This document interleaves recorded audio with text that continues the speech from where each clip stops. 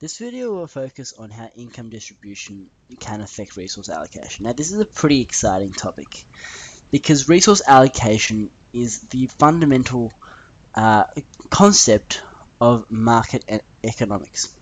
Um, we, we live in a market capitalist economy which means that resource allocation is determined by the forces of supply and demand. And so what this means is that those with greatest purchasing power can determine where resources are allocated. So purchasing power or spending power determines resource allocation.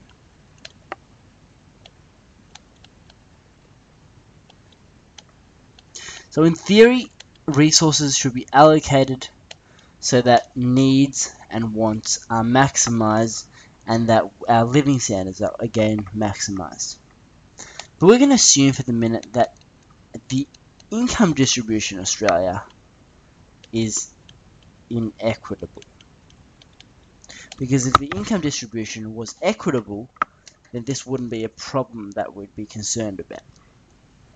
So we're going to assume that income distribution is inequitable. And so what this means is that the top quintiles would have a larger proportion of the income cake or the large proportion of total national income than lower uh, than, than the lower quintiles. So if there is a gap between high and low incomes, it is most likely that there will be an overproduction of luxury items. So there is an overproduction of luxury items.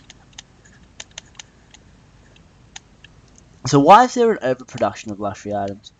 And this is because businesses seek to maximize profits. So because high income earners dominate the purchasing power of the economy, they're going to dictate where resources are allocated because businesses will want to maximize their profits because they're profit hungry uh, machines to an extent uh, they're going to actively uh, allocate resources to places where those rich people demand it. And of course, they're going to satisfy their basic uh, needs and needs in water, shelter, food, um, and education. Those needs are going to be uh, met. But what they want further is these luxury items. So, say luxury items, for example, sports cars, designer clothes. Um, sporting arenas, sporting events, um, fine dining. And we can we can think of many more luxury items that we don't really need, but we want so that we can make our lives that little much that that much more better. So unfortunately, what this means is because our resources are indeed limited and that the allocation of resources come at an opportunity cost, because there is an overproduction of luxury items, we will see that there will be an underproduction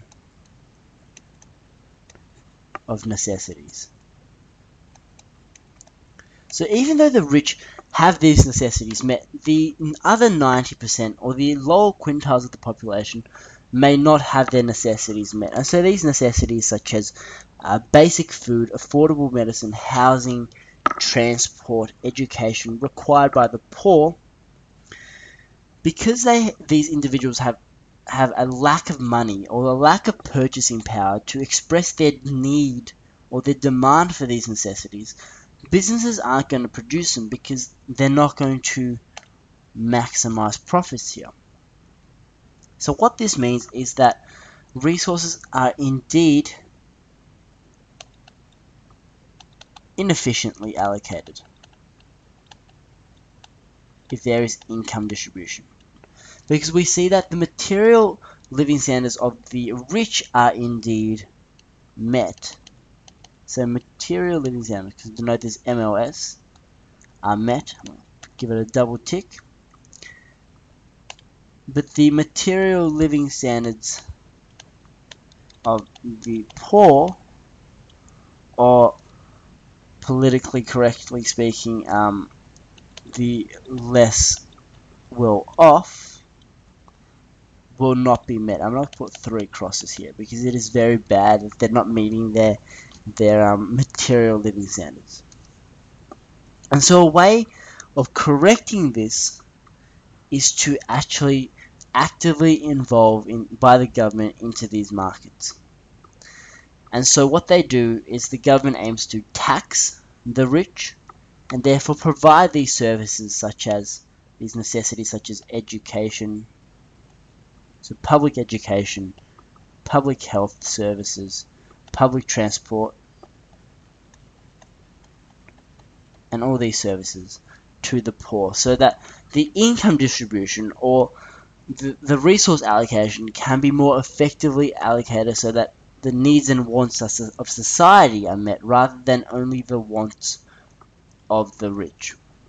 So that's how income distribution or an inequitable income distribution can distort resource allocation so that it becomes inefficient and the needs and wants of the entire society are not met as opposed to where when a, a society or an economy has an equitable distribution of income which may result in a more efficient allocation of resources so that needs and wants of the entire economy are met rather than only those capable, those rich enough, who are capable enough to uh, manipulate businesses into producing certain luxury items.